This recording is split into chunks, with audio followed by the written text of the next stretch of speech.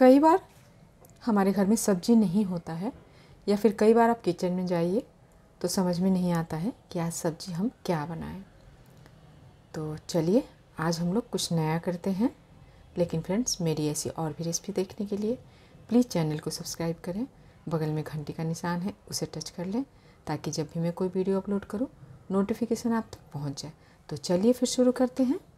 तो आज मैंने लिया है प्याज। तो इसी से हम आज की रेसिपी तैयार करेंगे।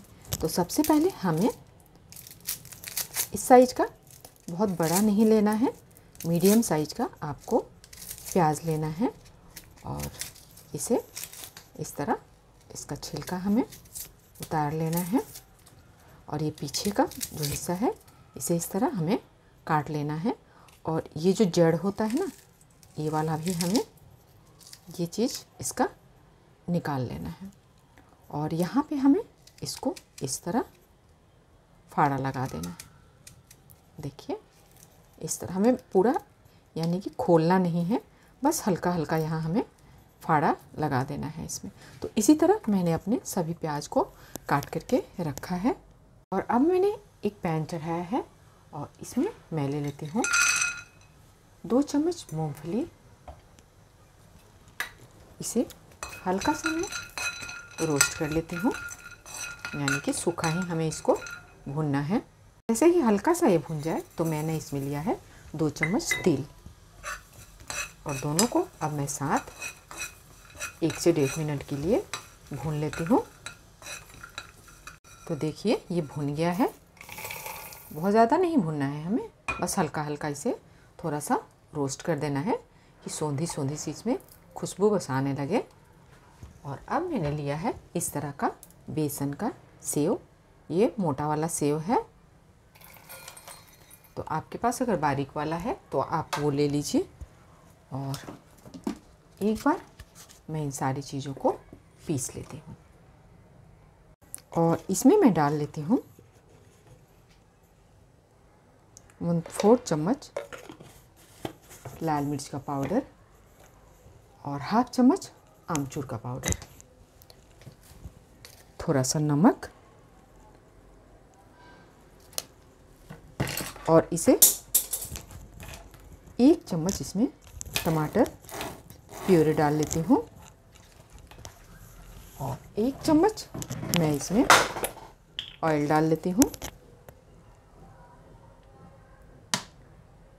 सरसों तेल मैंने डाला है इसमें और इन सारी चीज़ों को एक बार मैं इस तरह मिक्स कर लेती हूँ। अब इन्हें मैं अपने प्याज में थोड़ा सा आप इस तरह हल्का हल्का इन्हें खोल लीजिए और इसे इस तरह इनके अंदर फिल कर लीजिए।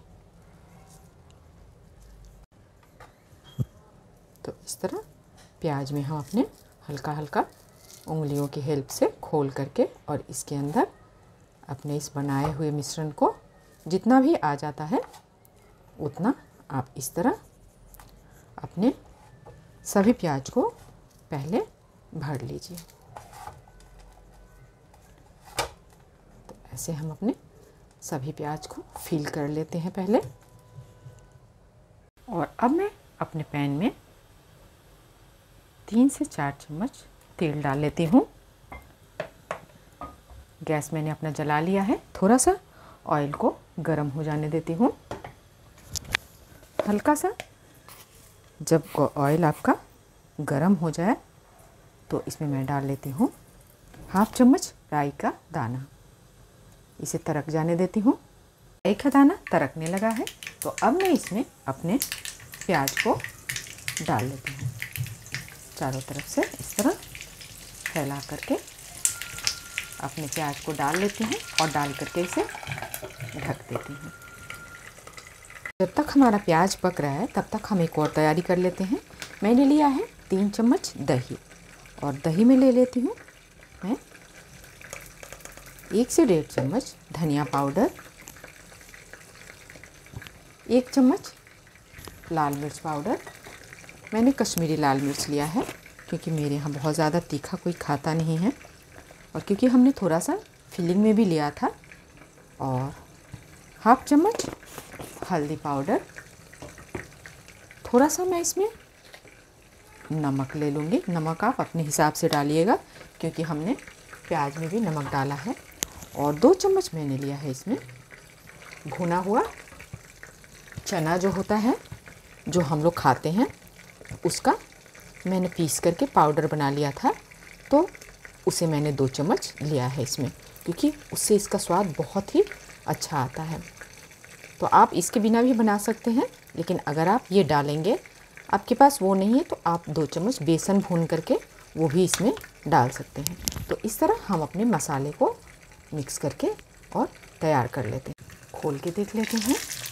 तो प्याज हमारा थोड़ा सॉफ्ट हो गया है। देखिए, खुल भी गया है थोड़ा हल्का हल्का तो अब हम लोग प्याज को इसी में एक साइड कर देते हैं ताकि हल्का हल्का वो भी पकता रहेगा।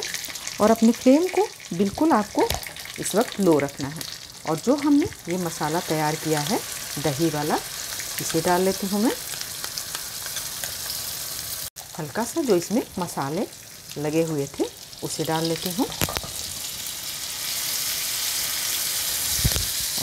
एक बार इन्हें इसी साइड हल्का हल्का मैं अपने मसाले को भून लेती हूँ।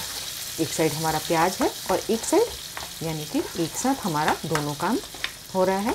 एक साइड हमारा प्याज भी और अच्छी तरह थोड़ा पक रहा है और दूसरी साइड मैं अपने मसाले को हल्का हल्का इन्हें चला करके भून लेती हूँ। एक बार मैं फिर से इसे ढक देती हूँ। तो चलिए देख लेते हैं एक बार खोल करके। तो ये देखिए, हमारा मसाला भी बिल्कुल अच्छी तरह इस तरफ़ भुन गया है। एकदम अच्छी सी खुशबू आ रही है इसकी, मसाला भुनने की और दही की। तो अब हम क्या करेंगे कि जो हमारे पास ये बचा हुआ था, जो हमने इसमें फील किया था, अपने प्याज में, ये वाला मसाला जो बचा हुआ है, इसे भी हमें वेस्ट नहीं करना है।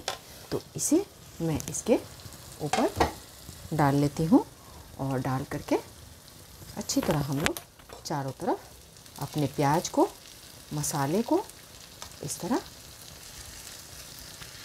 कवर कर लेते हैं। और अब थोड़ा सा मैं इसमें पानी डाल दूँगी। दो से तीन चम्मच, ज़्यादा पानी नहीं डालना है हमको। और अब इसके ऊपर मैं डाल लेती हूँ थोड़ा सा गरम मसाला और यानी कि वन फोर्थ चम्मच गरम मसाला और वन फोर्थ चम्मच किचन किंग मसाला। और इस तरह अब हम इन्हें फिर से एक बार इसी तरह ढक देते हैं। बिल्कुल हम चलाएँगे नहीं, हिलाएँगे नहीं इसे और मैं एक से डेढ़ मिनट के लिए और इसे ढक देती हूँ। तो बस ये देखिए।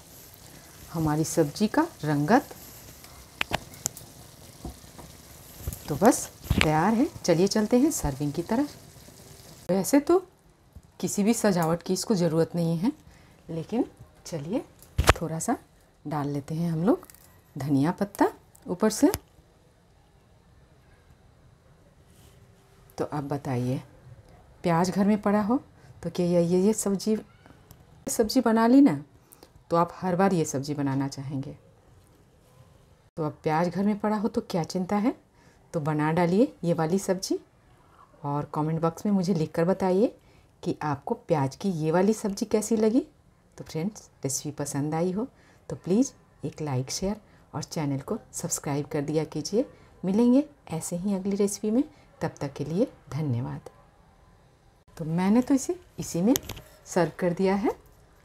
अब आप इसे जैसे मर्ज़ी है, वैसे सर्व कीजिए और मज़े कीजिए प्याज की सब्ज़ी का।